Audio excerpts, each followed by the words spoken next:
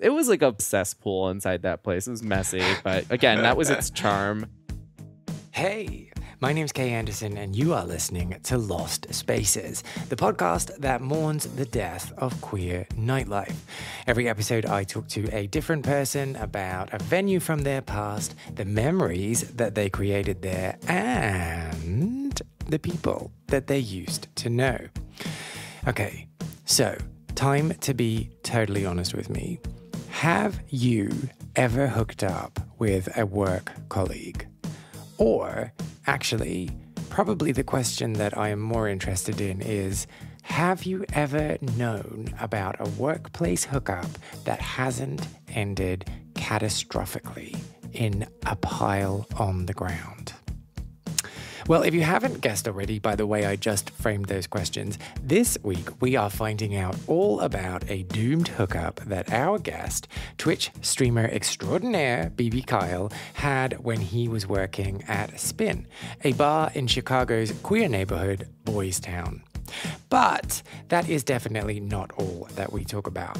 Though he is now based in Tennessee, BBKyle, or Kyle, as I'm going to call him from now on because BBKyle sounds a bit weird in my mouth, says that he loved his time at Spin so much that he would still be working there today if it hadn't closed. Which means it must be a pretty special bar, right? We talk all about how he ended up in Chicago, what queer spaces offer that other spaces just don't, and sorry about it, it's just a fact, and how being forced to wear a uniform of nothing but booty shorts somehow helped Kyle learn how to love himself. And yes, reading that back, I realize how ridiculous that sounds, but I promise I didn't make it up. He did tell me that. Let's get into it so we can find out more.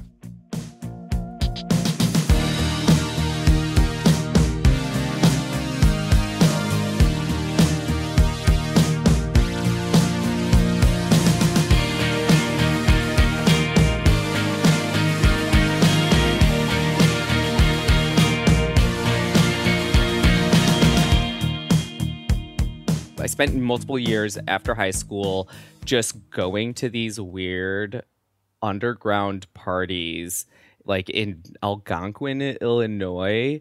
Um, Ooh, say it again. Algonquin. Algonquin, What? yeah, it was like this Wow. weird, gross house. Uh, I hate to like say it like this, but like we call them like pedophile parties because there's like all these like older like gay guys that would just like have like a bunch of like 16 17 year olds just partying with them getting wasted but it was never But- like and how old were they? I I don't even know. They could have been literally 19 and I would have considered them a pedophile at that point just cuz like I, you know I don't know.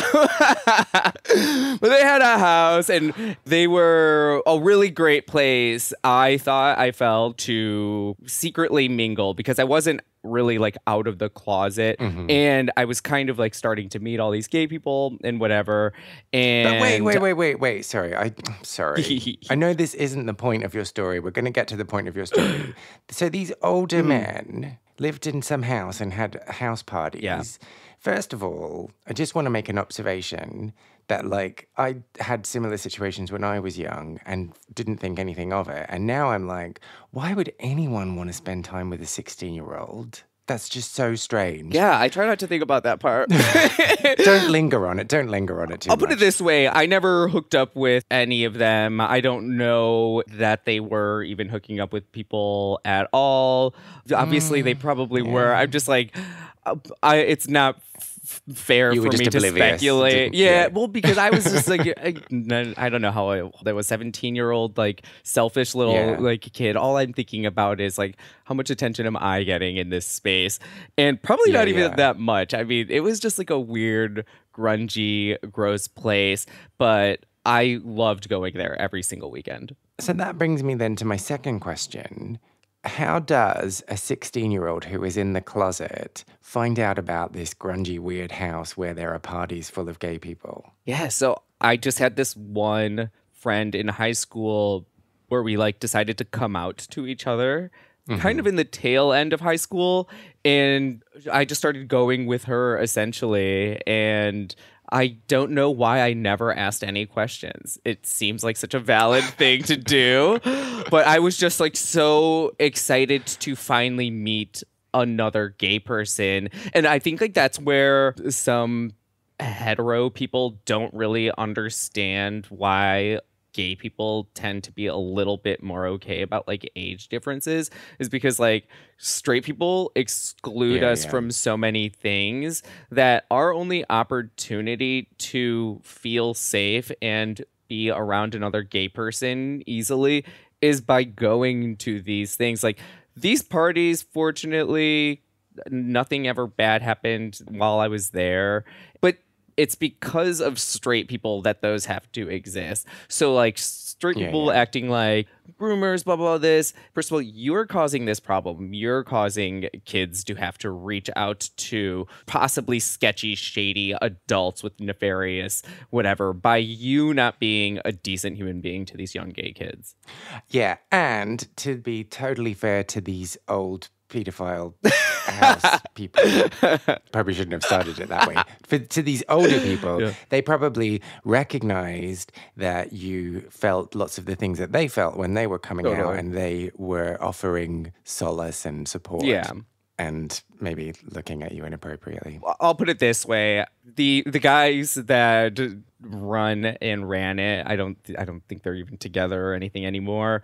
But those guys that took care of that whole thing, they ran a pretty uh, a tight ship. They had paid security and things there and everything. So. Wait, but at, at a house? I mean, mind you, the paid security What? was just like some dumb frat bros that they gave like 50 bucks to do it. It was like uh they had a private property and everything and parking in their own parking like gigant. I don't even know. This place was odd. so, so it's like a nightclub, but it was in a house. yeah. Okay. Yeah. All right, I'm, I'm going to stop asking follow up Yeah. questions at this point. Let's. This story now is how you got to Chicago, and this was the setup, Yeah. and I've taken us off on a weird path. So get back to that. Um, I was working at an Ulta, and Ooh, what's that? Ulta is just like this makeup store in um it yeah, just all over the world. Okay. And I was working at an Ulta because I, I really thought that I wanted to get into makeup and things like that.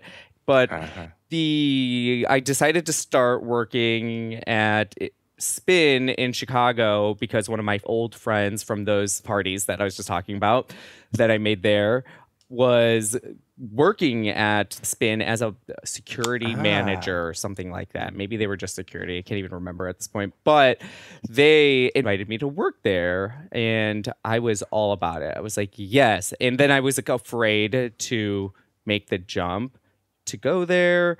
So I stayed working at Ulta in Naperville while working in Chicago at the same time. And then finally I kind of just like made the decision to give it a go and I wanted to go to DePaul. Um Which is a university. Yes, I'm so Okay. sorry. I keep making these like assumed contexts that you're just gonna know exactly what I'm talking about. So, so sorry. we, yeah, so we need to have a quick geography lesson. So where the Ulta was Yeah. in Nap- Na- Naperville. Naperville, and then Spin was in Chicago. Yes. How like tell us about the distance? Yes. How long? How far away? So in like Illinois, Naperville is famous for being all these like rich kids that are not from Chicago. We'll just put it that way. When people in Chicago are making fun of out of towners, they'll be like, "Uh oh, they're from Naperville."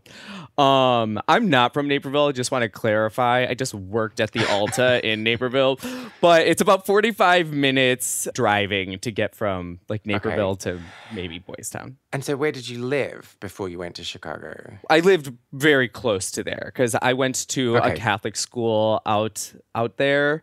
You know, basically same Okay. distance. Naperville and and my town. So I don't want to like just like randomly say. it.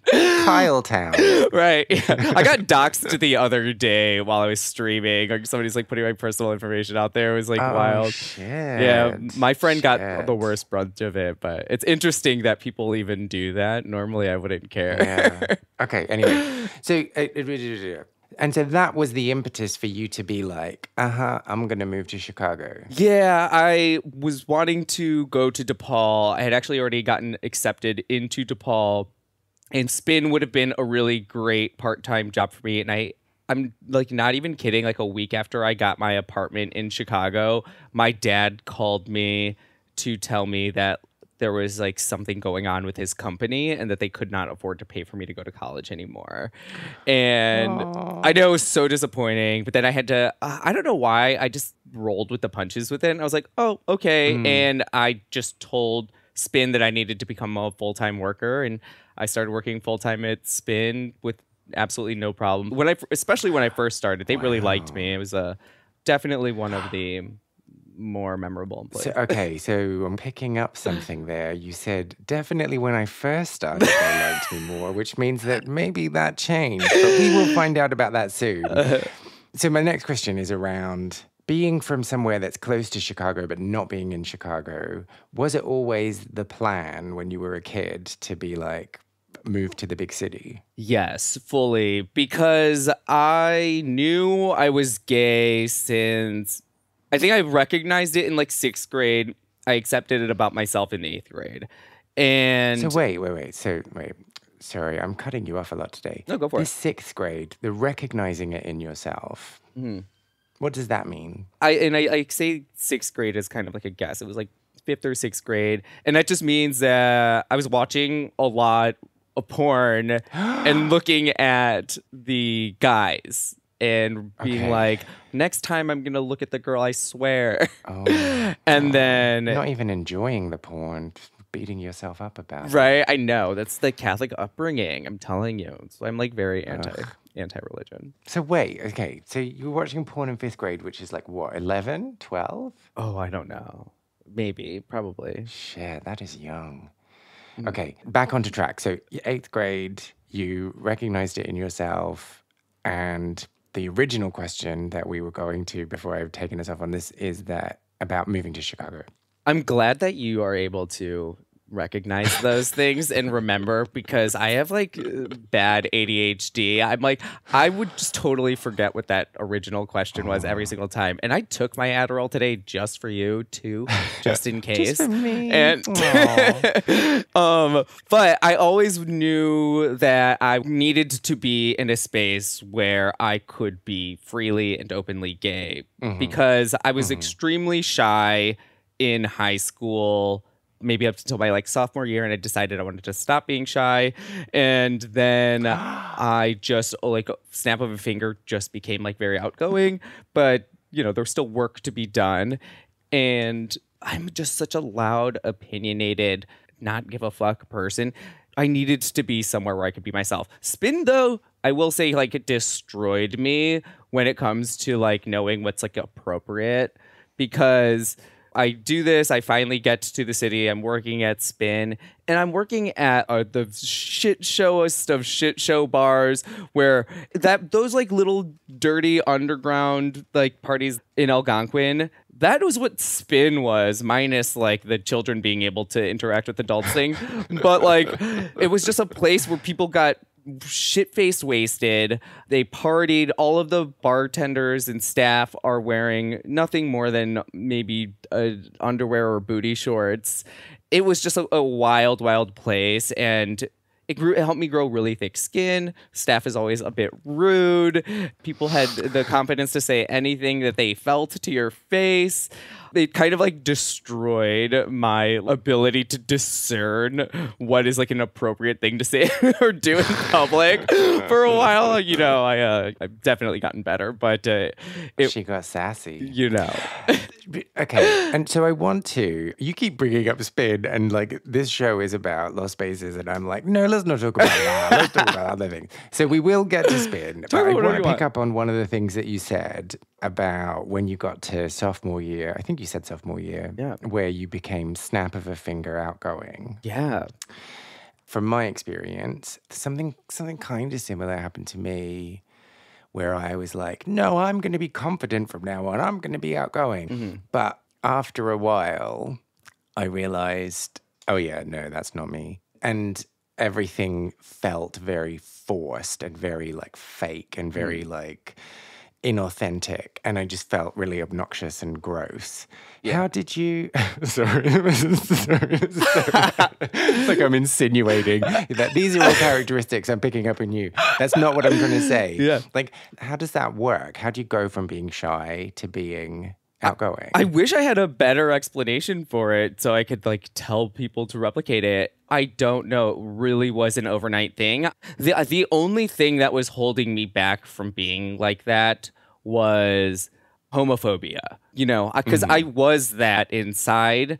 The only thing that was stopping me from being, I, I guess, open and outgoing was the fear of being caught, I think. I think I was always just nervous that if I spoke up, that people wouldn't be interested in anything that I was saying or hmm. doing or anything like that, even though I had a lot of opinions. But even like, uh, not even the opinion that's coming out of your mouth, mm. just the way you talk, mm. right? Yeah. Like, I learned really early on not to speak because people were like, ugh, you sound a bit faggy. Yeah. Ugh, you sound like a girl. And so I just learned to just not say anything ever and try and like not move and try and like not do anything. Yeah. Because people would have some sort of opinion about it. You know, it's really funny. So I went to Catholic school my entire life, but there was one mm-hmm. semester that I went to this school called Jane Addams. And that was the first time I realized that people saw me as gay because mm.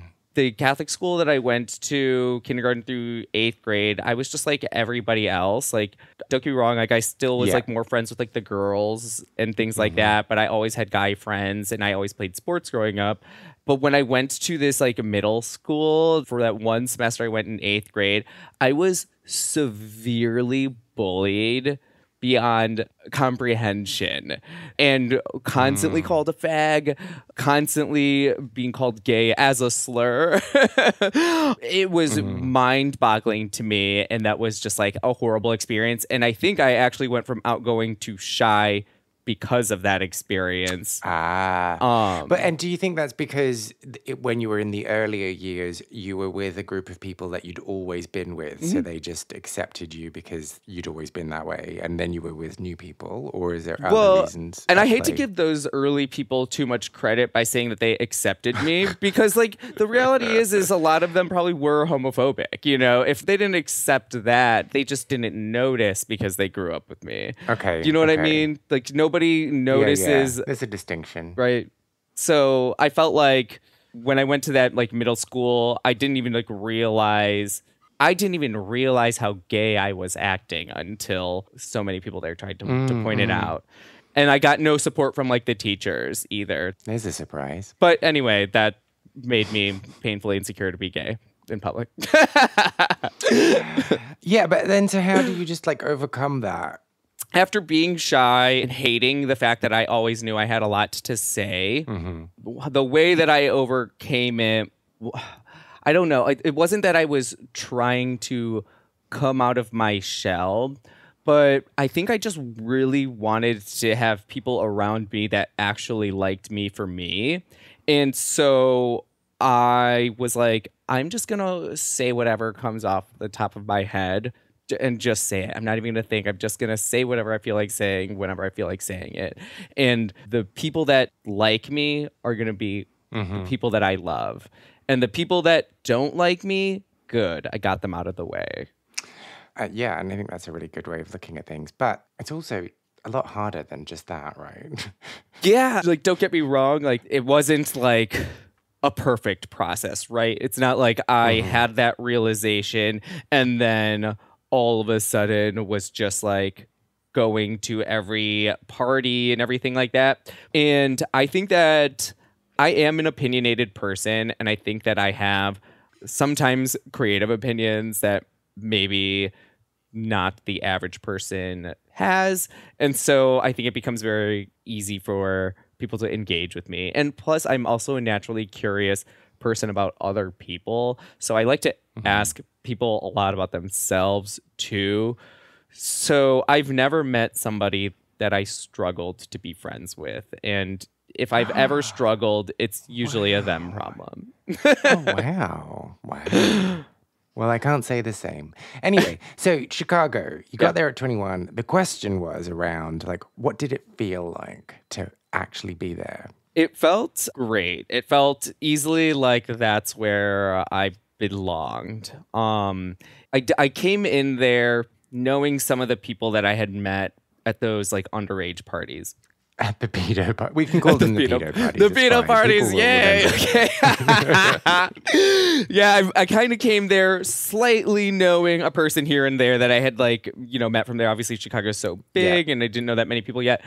But I get there and I kind of built this relationship with this one bartender that was the daytime bartender.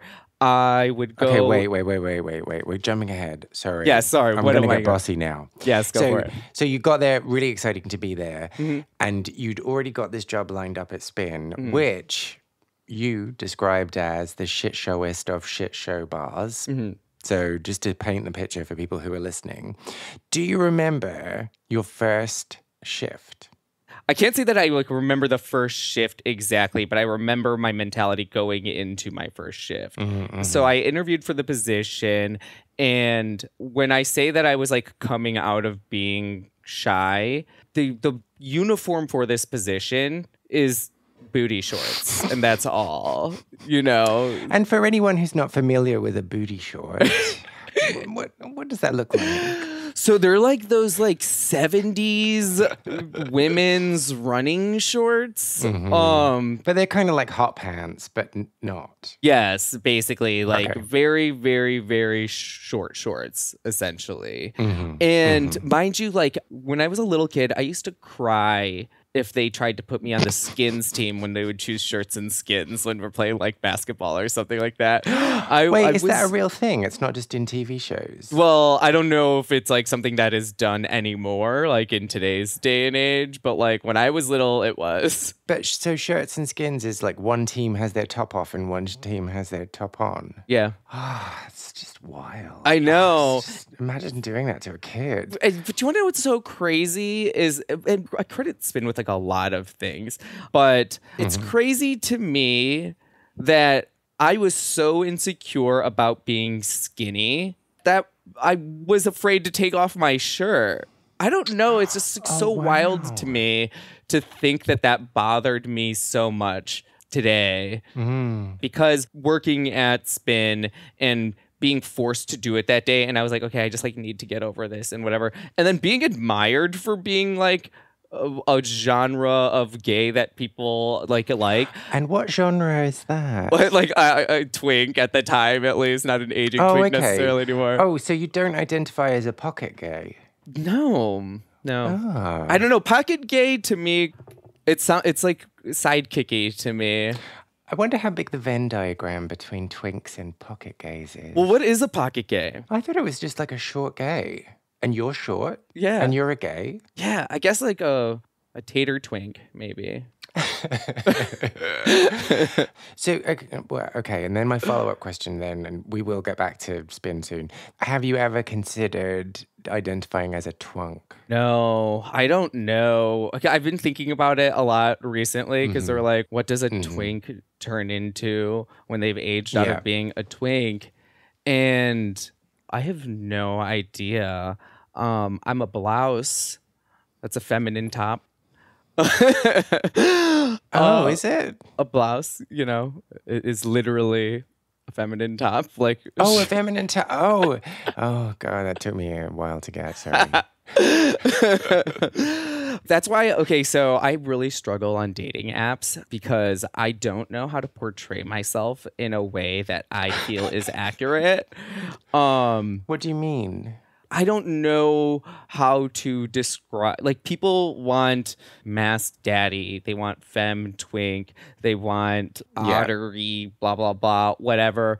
But I like to wear makeup, and I don't mm. always wear makeup. I like to play sports, mm-hmm. and I like to be in control in the bedroom, but I like someone that is very domineering outside of the bedroom, but I also am like down to get in an argument. So that like domineering person has to be like willing to shut the fuck up the second I want to be the one that makes the decision.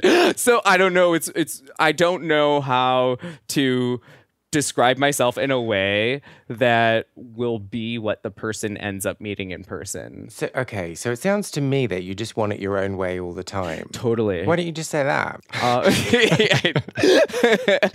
I mean, I try to, to, to, bring it up that way if I can, but that's why I, I rarely ever hook up with somebody off of an app. I think I maybe hooked up with somebody off of Grindr one time, and I dated him for like three months, and other than that, I have to meet people in person to like know that we're gonna actually vibe before you know I could do anything with them. Mm, okay, so let's go back. You were saying that you thought that you had overcome your shyness and that you were outgoing, but then you got to spin, and then they were like, "Here, you got to put this on," and you were like, "Ah." Carry on, go. So it was just really weird because I I had to go buy that uniform and then I had to go wear that uniform. And well, they, they, didn't give you the uniform. You had to buy it. Yeah, that is so weird, right? There's laws so about that. But uh I so I had to buy this like uniform. It was like American Apparel is basically where we kept getting it. And it was like the little shorts and knee high socks that were matching in color. And if we wanted, we could have like a sweatband on our arm or like a head if we if we wanted to wear those. And anyway, so I was just like, fuck it, I'm doing it. But it was so weird for me because, you know, I did it and people d- flirted with me. I don't know. It was just like, I was just so hell bent in my head that me, me, you being like a skinny man is not okay. And it was just really interesting to see how that kind of turned around for me and that I realized that maybe I'm not attractive to everybody, but mm. I am mm. attractive to some people. Aww. It was like a really nice realization because, like, like I said, I grew up in Catholic schooling my entire life and everything like that, and so like the whole concept of all of that, like fucking the little chunkers I was growing up with, the like boys. They were taught to feel more secure about themselves than me as a skinny little boy. And okay, wait, hang on. As a I, chunker, I have to say. Look, I'm not saying like that there's anything wrong. I'm like attracted to chunkers. I just mean like okay. I, it, it's just crazy that there was like any standard out there. And it's not like I'm comparing to the the fit kid or you know whatever. It's that me and the people who I think were equal opposites uh, were just being skinny was like the worst thing in the world and it was just odd to me. But is that the case, or was it just all in your head? Probably all in my head. Like I'm okay. comfortable like admitting that, but I.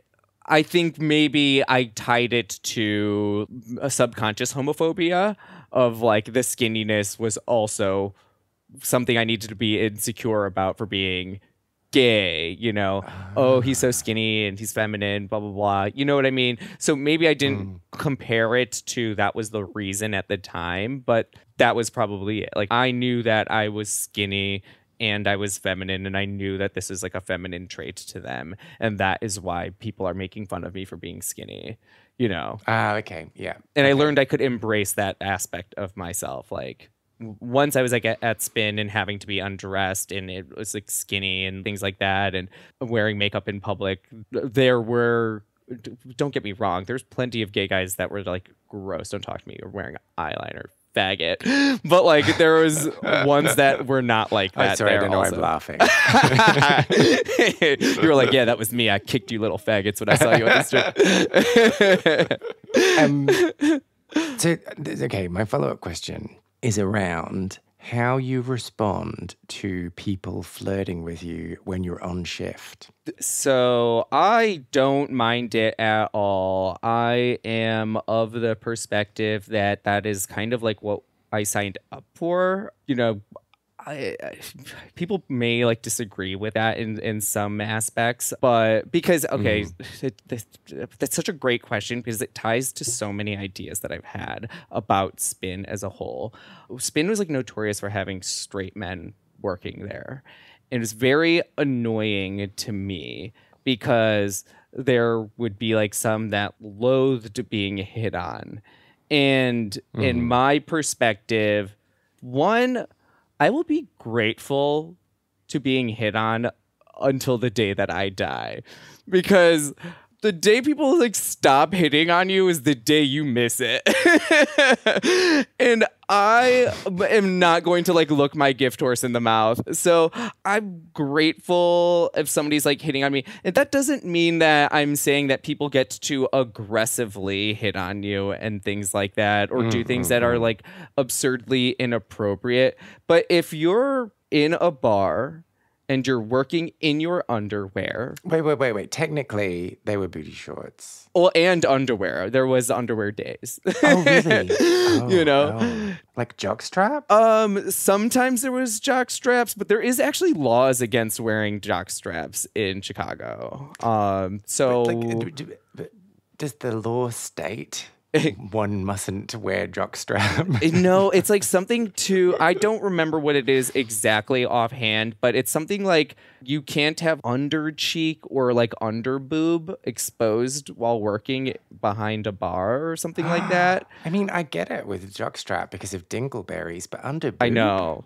I don't know what the hmm. exact like reasoning is or whatever, but on our Friday nights we would have a shower contest and mm-hmm. the bartenders that worked in the area of that would always have to wear a jockstrap, but weirdly they had to wear a towel on the back of their strap of their butt and then have it hanging over their exposed butt. So like so so what it was like a jockstrap with a cape. Yeah, essentially. Exactly. Oh. Good visual. Weird. Okay.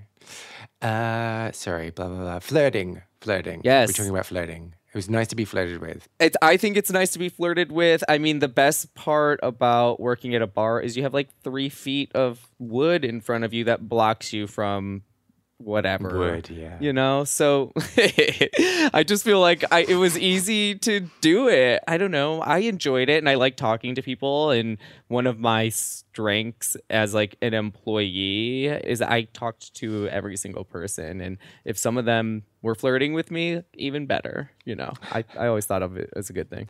Well and so this thing you said about spin being i think you said notorious for having straight men working yeah. there Mm-hmm. Is that a like an outdated view of the person hiring that like, oh, gay men love straight men, they'll be like magnets? Or is there another reason? I don't know. I've never really gotten like a firm understanding of it. It is something that I am personally very bitter about, but I also say that as somebody that loved basically every single straight coworker that I've ever had. Some of my best friends are straight. I know, right? Yeah. I just don't. th- this is the reason for.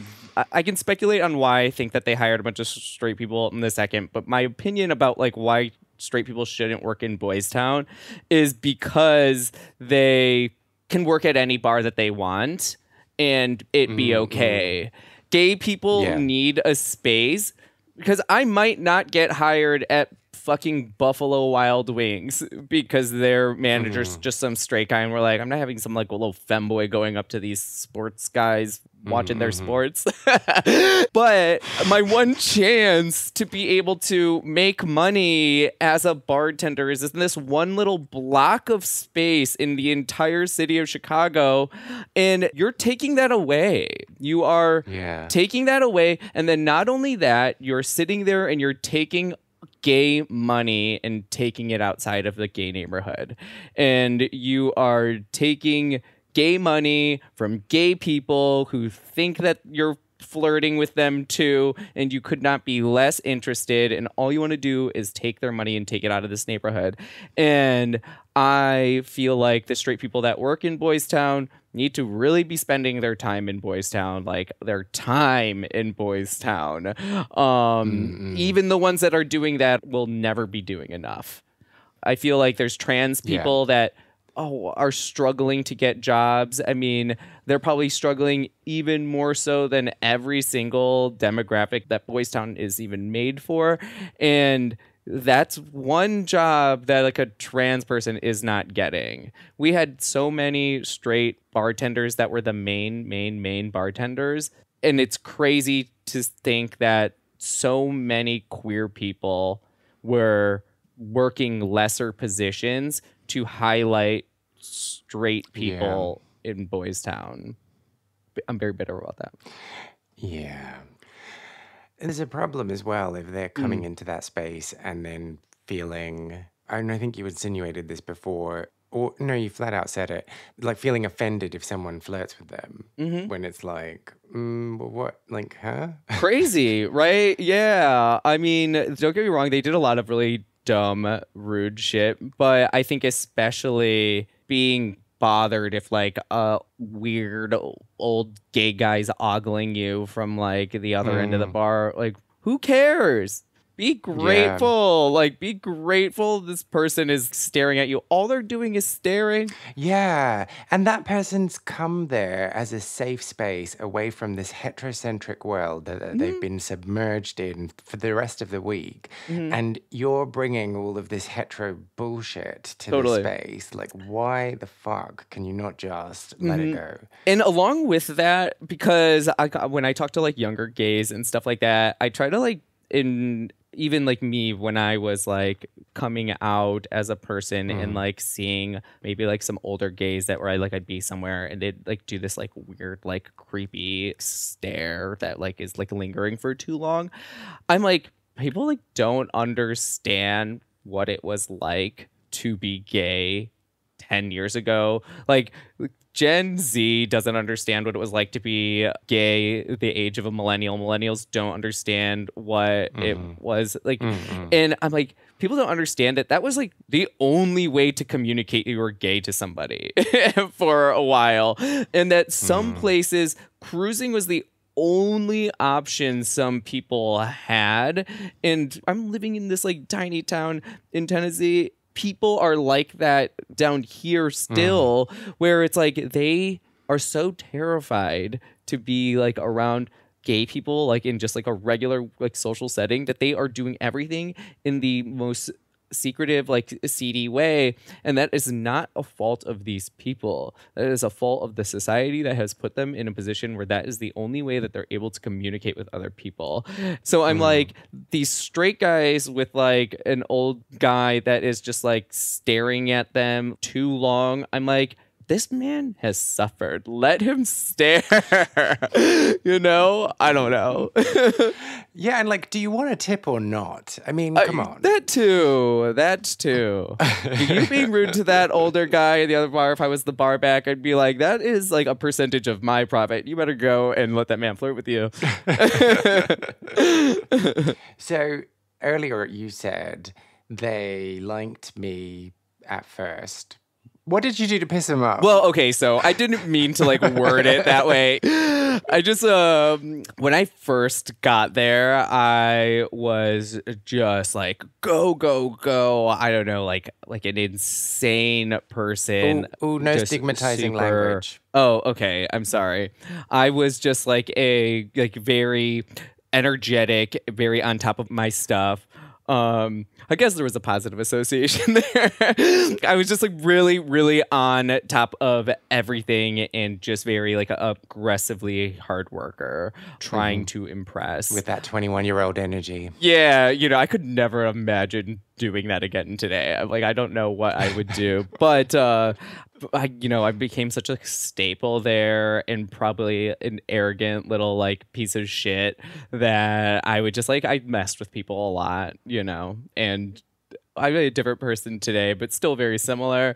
But I think I just like poke at people and like, you know, a little bit of a troll. I'm a child of reality television. it's taken a lot to grow out sounding a little vague to me. Well, I don't know how to like give like a great perfect example. I would like I'd love to I, like give one, but I'm like a Why living. Why don't we try troll. a few out? give you two a few examples. I'll tell you, let you know if it's good enough. Okay, so like being working at Spin, I was introduced to uh, like the concept of like reading and throwing shade and stuff like that. Mm-hmm. And have been a flaming faggot for a long time that I am used to being insulted constantly. And I just got good at having comebacks and being able to just kind of be kind of trolly about it and then the concept of like drag queen shade throwing and all that i probably just like got a little too deep into it so like here's the thing is I would be hard pressed to find one of my old coworkers that said that they didn't like me. Maybe they all didn't love me, but like most everybody really liked me and got along with me. I mean, I don't think I'd, I have like any enemies of any of my coworkers, but I just mean like uh I think those same coworkers even the ones that I'm still keeping like hardcore touch with, like today, they'd be like, yeah, yeah, you're definitely a more toned down version of who you were. So that's all I meant. I just meant like it's like a love to hate him, like kind of like a little brother type of situation. Okay. Is I think how many of them would have seen me at the end of my experience. so like that annoying fly in the room. Yeah, they're like, God damn it! What is what is he gonna come over? He's gonna say some like wild ass shit right now. Like that's like uh idea that I'm having. Oh, okay. So you didn't burn your bridges or anything? No, no. If Spin were still open today, I'd still be working there. I loved it, and I loved the people that I worked with so much. It was just such a, a, hmm. a, mix of personalities that you would not be able to find anywhere else. Like a sense of community that was just, you knew who the core people were that were the Spin family. And Spin closed, right? So we refused to give up on that place. You could see who was obviously there that just loved what we were doing and loved the, the seeing each other every single day. I the day I found out it closed, I went out to this bar called The Call up in Andersonville, and I just remember like I was probably with some coworkers that I didn't even really like that much, and I started like bawling my eyes out to them because I just couldn't believe it was all over, and it was just an era. It was an it was an experience that I just wish that I would have been given time to prepare for mentally that it was like coming because we were all just kind of told as a surprise like by the way spin is closed. It's not reopening we're mailing you a check so what was the deal then? Why did that happen? So I can't pretend that it was a complete surprise. However, so we had seen that Spin was up for sale on like some random like real estate websites. But the thing is though is like every mm-hmm. bar is always on those websites. Like if somebody yeah. makes them an offer, they'll take it essentially. And so that was kind of what we were like led to believe because we weren't the only bar that was on stuff like that at the time into this day, many years later, those bars are still owned by the same owners. So we just like weren't really thinking about it, but you know, like speakers would blow out and stuff like that, and they wouldn't get replaced. And we're like, okay, mm. this is starting to get a little bit sus. The money was starting to get substantially smaller than it had been. And the owner of Spin he owns a ton of real estate in Chicago and is like a straight man. And he never comes inside the bar. He had like a, a little like sidekick worker for him that would maybe once in a while come in to help out with something, but really they had like almost no attachment to the bar and its actual mm. running or anything outside of owning it and then collecting the checks with the managers like the next day in the morning. Mm-hmm. So there was just not a lover of the bar industry running the bar, you know, not somebody that's like keeping up with trends and stuff like that. So I'm really surprised that Spin did so well without somebody that was like mm. that running it for as long as they did. But uh, they've got an offer that they wanted, and uh, they apparently tricked some dumb ass other straight guy into buying it.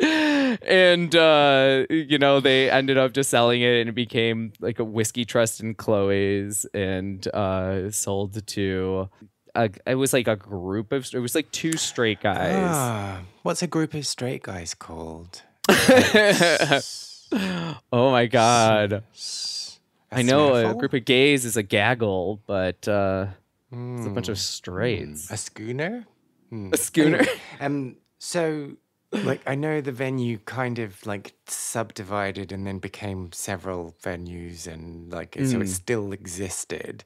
But for the purposes of this conversation, let's just like say didn't exist anymore.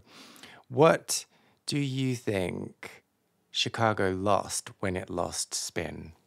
I think Boystown lost a sense of its no holds barred party atmosphere. So one of the things Spin was famous for was their Dollar Drink Wednesdays. Uh, I think the title of the event was called "What the Fuck Wednesdays," and drinks were a dollar. But this wasn't unique to Spin. Almost every mm. single bar in Boystown had a dollar drink night, and they all kind of like had like this. I don't know if it was a spoken or unspoken agreement where they each chose a different day. So mm-hmm. Sunday through Thursday, you could go to another bar and get wasted for dollars, just a couple of dollars. And so, are you about to tell me that Chicago has now lost its drinking problem? no, Chicago will always be a mess. It's just Chicago. But it was just wild because, like, you could go out every single day of the week, and it was always a party in Boystown but this could also just be like that's my memory of it for having just such a positive association. But like mm-hmm. it was wildly like people crazy like throughout the whole strip all the time. There's no dollar drinks at all anymore. I think the closest is like a dollar beers at like Roscoe's on like a Sunday or something like that, which is like great you know, good mm-hmm. for them. That's that's great. It's just not like as a whole, like when you can get a vodka soda, yes, you know, yeah, whiskey yeah. diet. It just like felt like uh like Boystown is like becoming more like a mall food court as opposed to like sanitized. Yeah, you know, this one owner is basically like bought multiple of the bars on the strip. Uh. It's ah. come on, like nobody has their own flavor anymore. I mean, I, I don't want to diss it. I just like it's disappointing to see an owner own multiple bars. I'd rather these people all maybe own mm. one, but you know, that's just like yeah you know that's not how capitalism works there I, the grunginess and like the the wild aspect of uh you know the partying and everything is like what i really liked about Boystown but that's not to say like what's going on with it now is not better and the direction it's supposed to be going. but, you know, yeah, straight yeah. people moving into the gay neighborhood and stuff like that. And I don't know. How'd you know? There are just straight people everywhere. Oh, I know. Like, like can we have one thing? all over the place recently. yeah. So weird. They didn't have any straight people in my day. Anyway, sorry, let's get back on topic. yes. So, when you were working there, mm. Did anything unprofessional happen with customers? Oh my god. Yeah, all the time. oh, okay. Well, I mean, I don't know. I like I don't think it's like um I don't see it as like a bad thing. Well, you were working for tips. I know. Yeah, I don't know. It's because I, I don't want it to like seem like I'm like dissing the service industry. It's not the same. Spin was definitely its own brand. Like for example, like R- Roscoe's in Boystown, you're not allowed to drink while you work there at all. Mm-hmm. They're very serious about it there. Spin didn't really care. You know, people have gotten fired for drinking while working at Spin, but like it was clear that they just fired somebody they didn't like uh, for drinking mm-hmm. because they did not give a shit when other people would be like in a blackout. So the way that spin was and the reason that spin was so magical was like you came to spin to party with the bartenders. The bartenders were the party. The staff was the party. They were part of the party that you came to enjoy. And so mm. I think a lot of bars that you go to, it's like you're going there and the bartenders are like backgrounds to the party you're yeah. having with your friends but the bartenders and maybe this is also why Spin failed, you know, because the bartenders were just having too much fun. But you know, I'm just saying that this is what I liked about it. But Spin was a party that everybody was involved in, the staff was involved in, and uh, you know, there's several times like I mean, I had hooked up with multiple people inside the bar while we were working. like there oh. was like a time even like me and my coworker were like, "Let's go." We went in the bathroom downstairs, laid a towel down. We're like, "Let's." it's a wild oh, place. wow! So it wasn't just BJ's; it was like proper. Yeah. Wow. Where did you get the towel?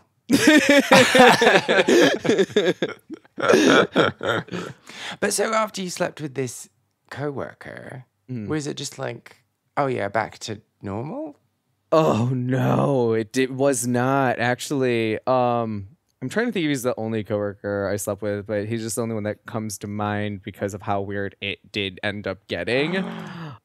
I still to this day don't understand what happened there, but You were terrible. no, he had like a, such a huge crush on me. And he was he was telling people that we were dating, and I was like, "No, we're Oh. not." And I'm like, "I don't know why you think that." And I thought like I couldn't make it more clear, but like I think I was colder to him about it then than I would maybe be about it today.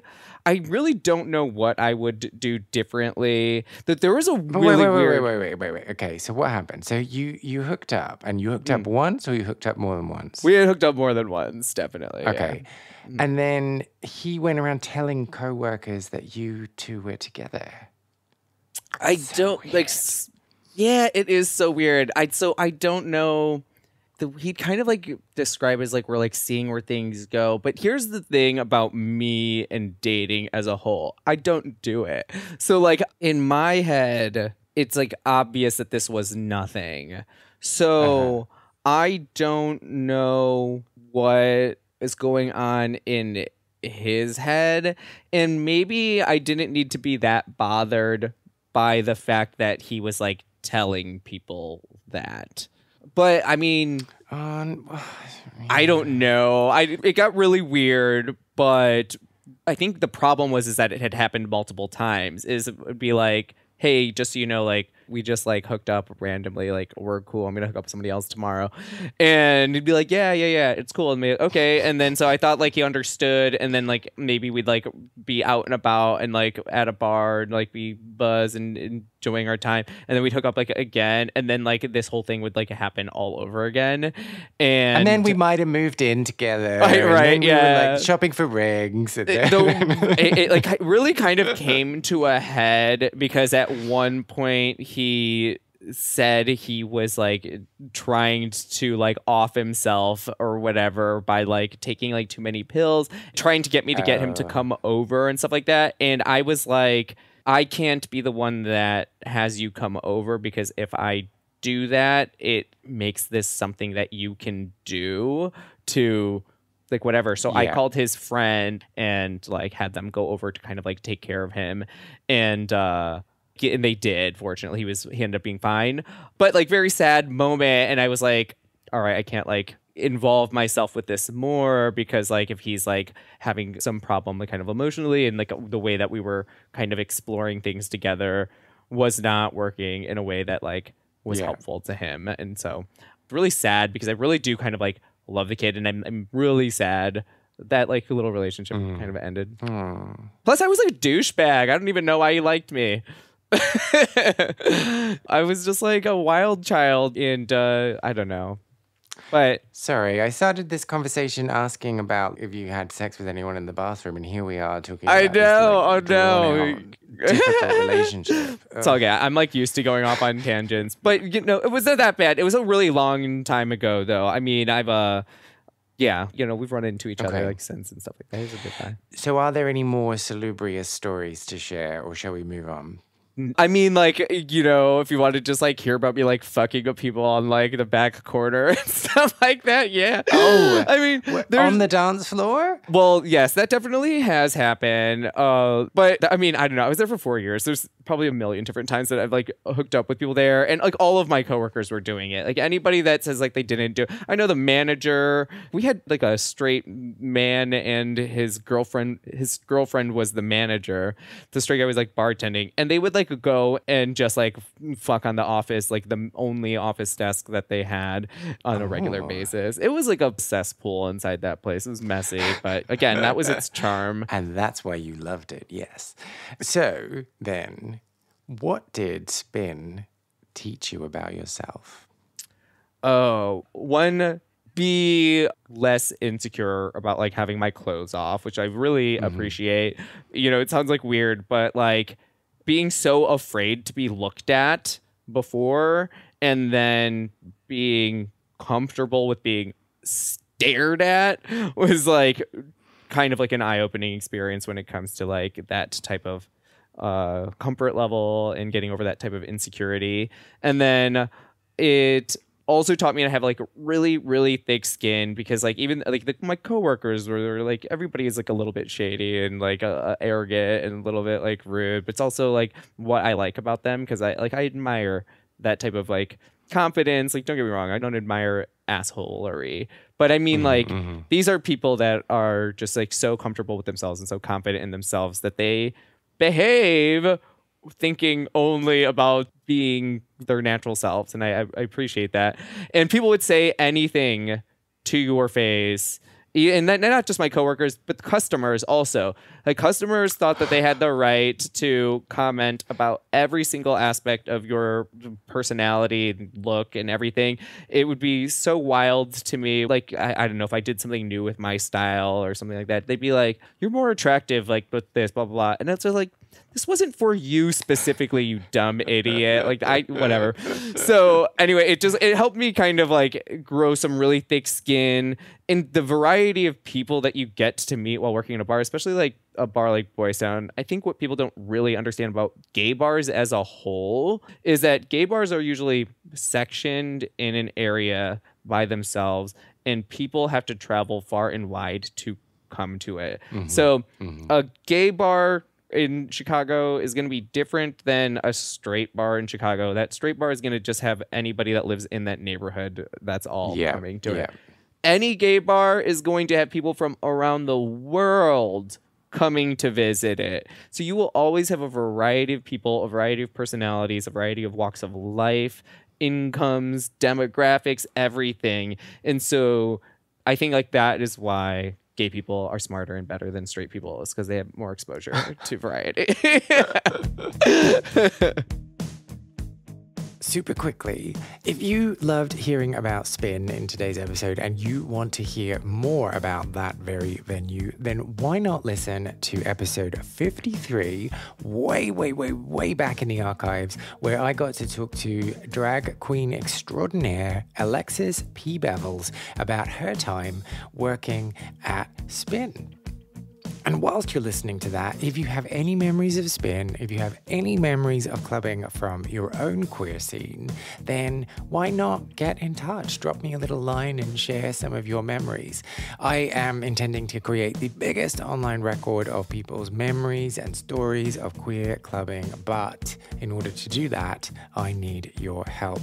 Go to lostspacespodcast.com, find the section Share a Lost Space, and then tell me all about what you got up to. If you would prefer to reach out to me on Facebook, Instagram, or Twitter, I am more than happy to talk to you there. My handle across all three is Lost Spaces Pod. And yeah, say hello.